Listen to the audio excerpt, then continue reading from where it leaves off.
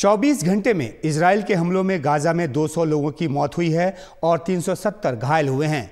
इसके साथ ही गाजा में अब तक मरने वालों की तादाद बीस हज़ार दो सौ अट्ठावन हो गई है।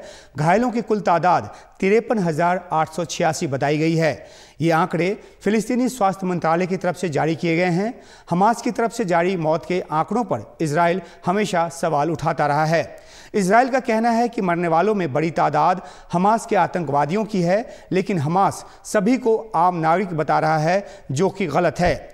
ये विवाद अपनी जगह, लेकिन गाज़ा में इसराइल के हमलों में भारी तबाही हुई है। गाज़ा में इसराइल के सैन्य ऑपरेशन में अब तक करीब 150 इसराइली सैनिक भी मारे गए हैं। इस बीच हमास के सैन्य विंग अल कासम की तरफ़ से ये भी कहा गया है कि अबू उबैदा इलाके में इसराइल की बमबारी की वजह से उसका उस गुट से संपर्क टूट गया है जिसके पास पाँच इजरायली बंधक थे। हमास का कहना है कि इसराइल अगर अपने बंधकों को सुरक्षित चाहता है तो उसे बमबारी तुरंत बंद कर देनी चाहिए, क्योंकि उसकी चपेट में बंधक भी आ रहे हैं। गौरतलब है कि हमास के कब्जे में अभी भी 130 बंधक हैं, जिनको छुड़ाने के लिए युद्ध विराम समझौते की कोशिश की जा रही है। हालाँकि अभी तक इस पर कोई सहमति नहीं बनी है।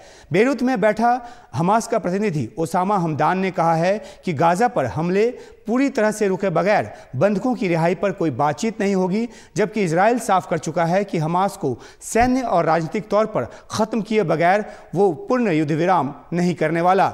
युद्ध विराम होगा भी तो छोटी अवधि का होगा यह इसराइल का कहना है। इसराइल ने पहले उत्तरी गाजा के लोगों को दक्षिणी गाजा भेजा था।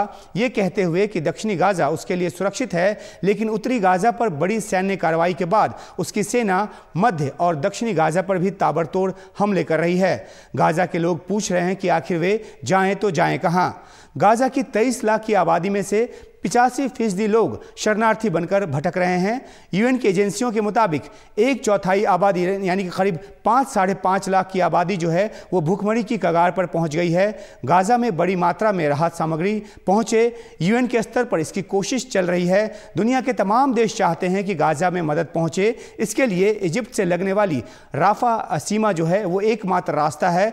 यहाँ से राहत सामग्री भेजी भी जा रही है, लेकिन गाज़ा में ज़रूरत काफ़ी ज़्यादा है और आपूर्ति उसके हिसाब हिसाब से काफ़ी कम।